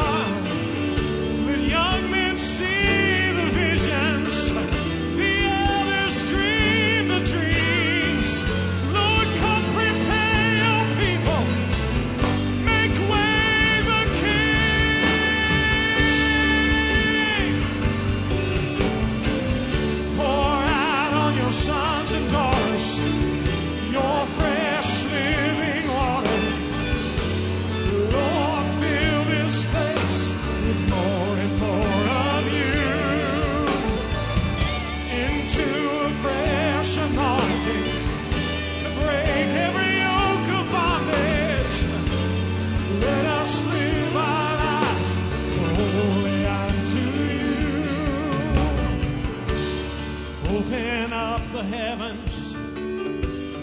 Pour your spirit out on a hungry people.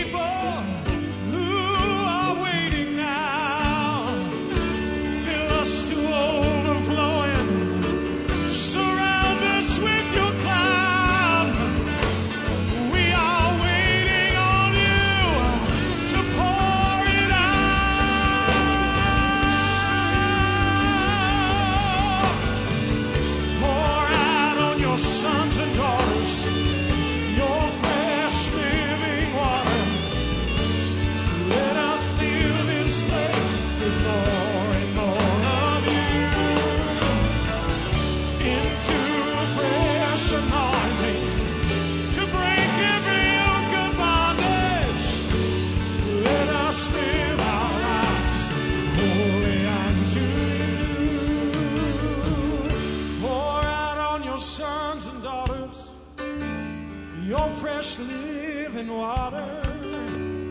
Lord, fill this place with more and more of you. Into fresh anointing to break every yoke of bondage. Let us live.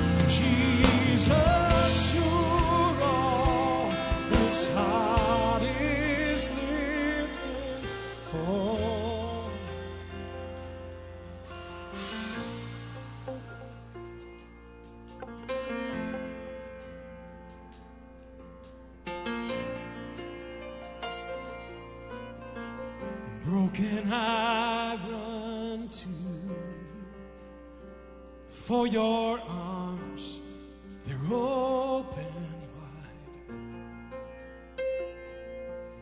Lord, I'm weary, but I know just one touch restores my life. So I wait for you, Lord, I wait.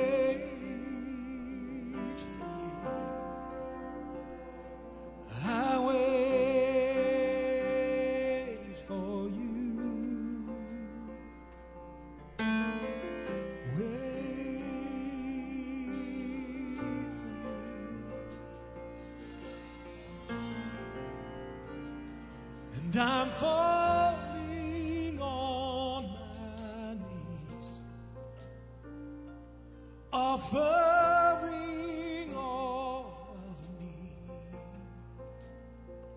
Jesus, you're all oh, this heart is in.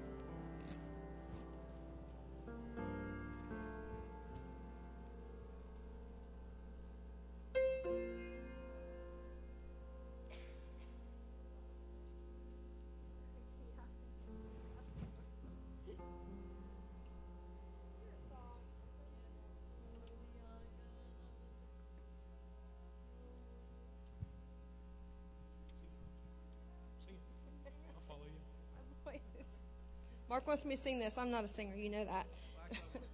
we want Kyle to sing it, but Kyle doesn't know it. And I said, oh, poop. I know, I'm so bad. So I'm going to sing it once, and then he's going to get it. He's going to sing it. You guys know that song, you remember? We sang it at that revival. We sang it like every service. So all you guys that sing, you remember. You, are welcome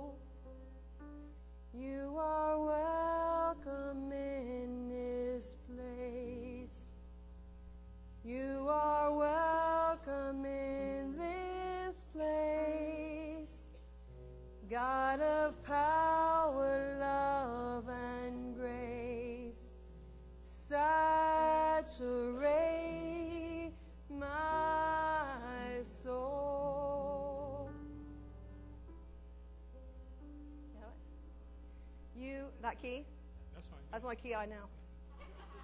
it better be that one. I don't even know what key that is. You are welcome in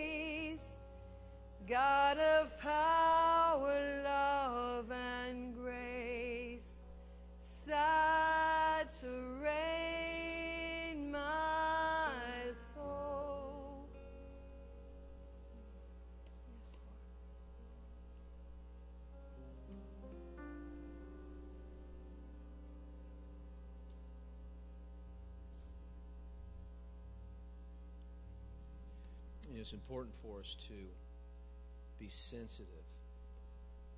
And this is practice. This isn't a game. This is to give us, this is to give you practice in sensing the presence of God. Because you're going to need that. You're going to need it at work. You're going to need that to go to school, back home. And to be led by the Spirit, Jesus says, is like wind. You ever see people, their finger, hold it up, maybe that just gets their wind. Or back in the old days when we played on grass, football, we'd throw the grass up and see which way the wind's blowing, figure out which way we wanted to kick or receive. So Jesus said that those who are filled with the Spirit, we, it's just like wind. And it's important that we're sensitive just when the glory of God comes in. Was just like Jesus walked in over here at this side just a little bit ago. Wasn't it, Todd? You see, the glory of God is the manifested presence of God in a particular place at a particular time. And it was it was it was about a six it was like a six foot spotlight that wasn't it Todd? Todd followed me. And it was uh, well it's because I, I was just going where where where it was going. He where he was going, I should say. But it was like it was like a six foot spotlight was there and then just came over here for a little bit. And then it jumped right over there. And then it was gone. And you'd like to think that you could make it come back but you can't. Just like those little you ever see those little tornadoes? They're called uh, dirt devils i think. And they just come but you, you, you got to take advantage of the wind but you can't make the wind blow you got to be sensitive. It's precious. And once you've tasted that once you've tasted that you're ruined for the rest of your life. That because it's like a little heaven. And then you have to go back and you do earthly things. I had to come up and tell jessica that that their their little boy little baby boy he needed a diaper change. That's what i was doing up there trying to discreetly say hey you got to go change your your son's dirty diaper. You know life life happens you can be in the glory one minute and changing a diaper in the next this is precious these are the things you tell your grandchildren these are the times that become legend don't miss the seasons of God. Jesus wept over Jerusalem. You remember what he said? You didn't discern the time of your visitation. So that's just meant to encourage you to embrace every chance you get. Every chance you get, embrace the presence of God and the glory of God. Amen. I just I want to reiterate the things that are important for our church. Wednesday night at seven. It's important. It's important. Want to underline our camp meeting. We haven't had camp meeting for the last few years because I just thought it got religious and mundane. It's just no, we're not going to do that. I just sensed that maybe this year we needed to have it. So we're having camp meeting, not to have it, not just to have a schedule. It, it, it, it is to refresh and renew people. I talk. I mean, I was on the phone yesterday to a pastor. I talked to so many pastors. They're just ready to give up, throwing the towel. They're so discouraged. There's such an attack such an assignment of the devil. I want pastors to come to our camp meeting. We're having our Soma conference, so they'll be here. But I want to see them refreshed and renewed, encouraged, as well as spiritual leaders and families. Ah, so pray about that. Now, on, on Wednesdays,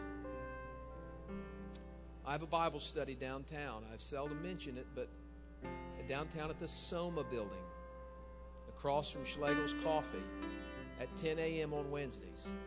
No praise and worship, and nothing like that. It's just Bible. We get into the Bible. We'll be there for probably an hour and a half, asking questions, debating, talking, discussing. It is open to the public, 10 a.m. on Wednesday. And then we have a prayer meeting here at noon on Wednesdays. Frankly, there's only four people, five people maybe that show up, and that's about most of the staff, and they only come because I make them. Now, I know your schedules, I realize that. But if you can make it, say, but that's my lunch hour. We'd be ashamed to have to fast that lunch, wouldn't it? Fast and pray. So if you can make it Wednesdays at noon, Kyle has a little worship we do, and then we, we pray and we have communion together. And then Wednesday night. Don't forget camp meeting. We're going to be, I like your D12. Come up here and show off your Diva Warrior D12. Now, this, this right here. Now, I don't promise you everybody's going to get a t shirt like this. Some of you guys wouldn't look good in it. But we're getting D12. We're going to sign people up. Thank you. Like right at the beginning, end of June, beginning of July, D12 to get get get get signed. Some of you already there. You need to get re-signed up, recommitted. In the fall, we're going to have a 40-day focus. I wrote a book uh, about 363 uh, 360 degrees discipleship. It's a 40-day devotional, and we're going to go through that together in the fall. That's the plan, at least. So good things are happening. Great things are happening. If you're here today and you didn't get a chance to, if you're a first time guest, to fill out a guest card, please do that for us. And uh, if you want to join the church or be baptized, you can let us know back there. So if anybody's there, I don't know. People have kind of left, but that's all right. Jesus, we love you and we, we honor you. We thank you today, God, that you've chosen to show up and pour your spirit out a little bit. We just ask for more, Lord. We ask for more. Thank you. In Jesus' name. Amen. Amen. Praise God. Praise God. Hallelujah. Yeah, just clap your hands and bless the Lord one more time.